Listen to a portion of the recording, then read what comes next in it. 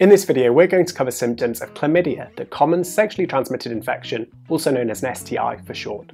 In this video, we'll cover symptoms in women, men, as well as symptoms of chlamydia that can affect your bottom, your throat, and even your eyes. Finally, we'll look at when to seek medical advice and where to get help from. As ever, each section is timestamped, and if you do learn something new from this video, then please remember to like it and subscribe to the channel for twice weekly medical education videos. So first of all, it's important to know that chlamydia is one of the most common sexually transmitted infections worldwide. It's passed on through unprotected sex, so this means sex without a condom, and it's most common in teenagers and younger adults, but it can affect anyone of any age. So now we know what chlamydia is and how you get it. Well, what are the symptoms? Well, most people who've got chlamydia don't actually notice any symptoms. That's why here in the UK, it's recommended that if you're a man or a woman under the age of 25 who's sexually active, you have a chlamydia test once a year, as well as when you have sex with new or casual partners. If you do get symptoms, then these usually appear between one and three weeks after having unprotected sex with an infected person. But for some people, they don't actually develop until many months later. Sometimes the symptoms can disappear after a few days, but even if the symptoms disappear, you may still have the infection and be able to pass it on. And because symptoms vary between men and women, we'll discuss these now in more detail.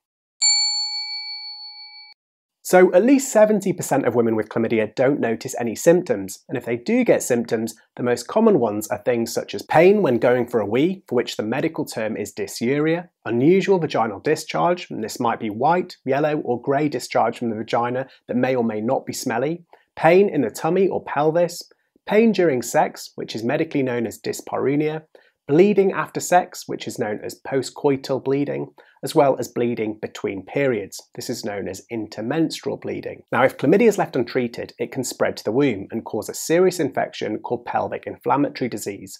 Now, this is a major cause of ectopic pregnancy as well as infertility, and I'll discuss more of the complications of untreated chlamydia in a separate video on this channel, so please do stay tuned for that. Now, in men, the symptoms can be slightly different. At least half of men with chlamydia don't notice any symptoms, and if they do get symptoms, the most common ones include pain when going for a wee, white, cloudy, or watery discharge from the tip of the penis, a burning or itching sensation in the urethra, and that's the tube that carries urine out of the penis, as well as pain in the testicles. Now, if chlamydia is left untreated, the infection can cause swelling in the epididymis. Those are the tubes that carry sperm from the testicles, and again, the testicles, which can affect fertility. Now, chlamydia can also affect areas other than the genitals, and this includes the rectum, so your bottom, as well as the throat and the eyes. Now, in terms of the rectum, it can affect the back passage if you have unprotected anal sex, and this can cause discomfort as well as discharge from your bottom.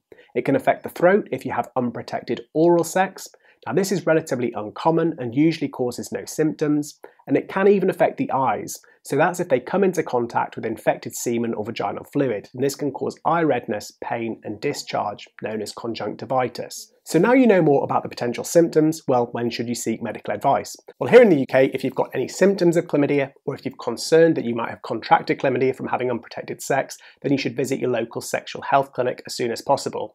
To help you locate one of these, the NHS have got an easy to use section on their website, and I've included a link to this in the description box of the video. If you live in the USA, then please do check out the CDC backed Get Tested website, which helps you find free, fast, and confidential testing near you. Again, I've included a link to this website in the description section of this video. If you don't live in the UK or the US, then you should see your nearest health provider who will be able to help you. If you want to learn more about the diagnosis and treatment of chlamydia, then why not check out the other video on my channel where I outline this in much more detail. That brings us to the end of this video. If you did learn something new, then please remember to give the video a thumbs up, subscribe to the channel, and if you want to share any of your own experiences in the comments section to help others, then please do so. Thanks for watching, and until next time, bye.